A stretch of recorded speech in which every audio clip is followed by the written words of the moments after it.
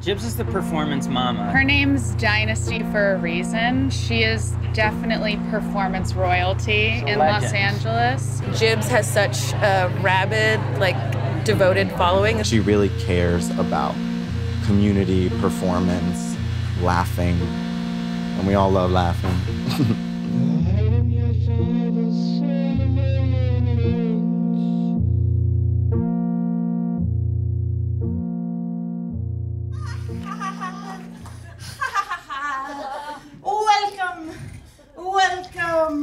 welcome to Weirdo.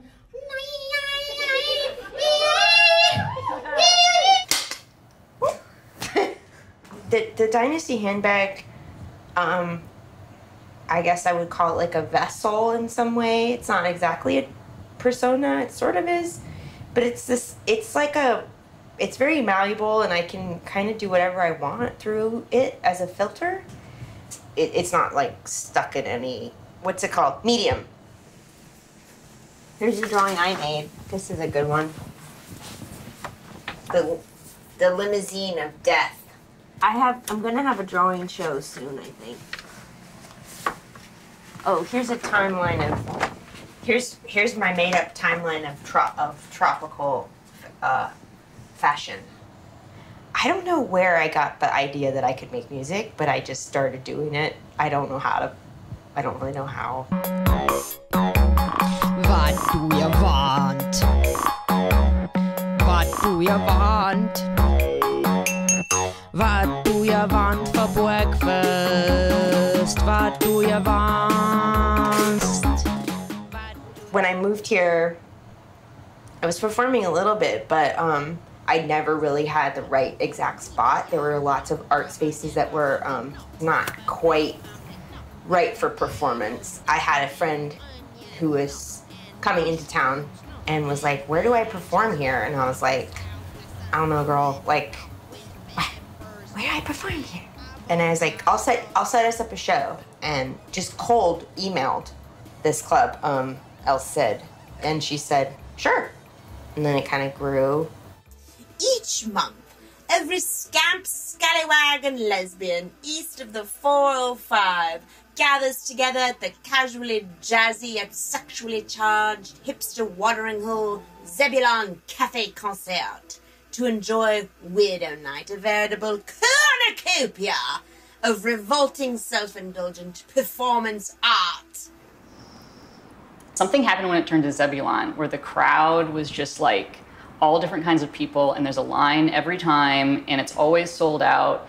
And you know, I think that that moving to that space just broadened her in such a way that she's become this sort of LA institution through that. Let's see, weirdest things. Uh, there was two guys in leotards with bug masks. There was um, a sad clown doing a performance dance to Du Hast one night.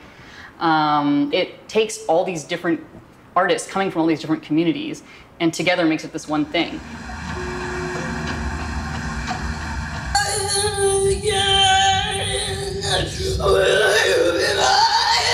Town, it's a queer utopia, flavor town. We have no phobias. I want the show to be inclusive, and I do curate with that in mind.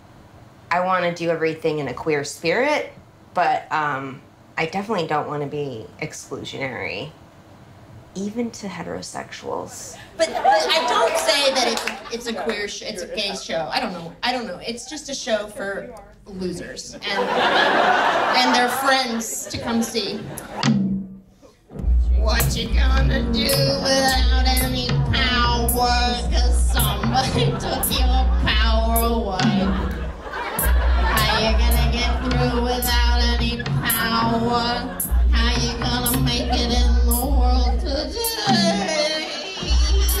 When people see Jibz Cameron's Dynasty handbag persona, it can come across as chaotic or entirely improvised or, you know, just something that like the spirit is moving her to do. But actually it's a really kind of thoughtful uh, encounter with a lot of different ranges of emotion.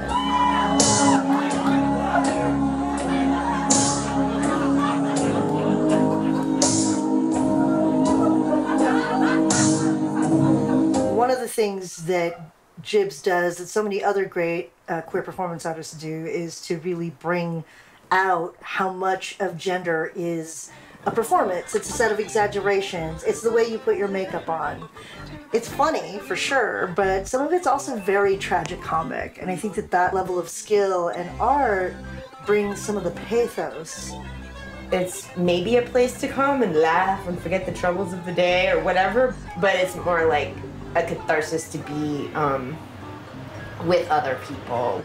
And I don't like to go anywhere. I'd rather just stay in my house and stuff and hide, but um, but I need to like support others and like look people in the eye and be like, maybe I can do something to just like make you feel a little more supported.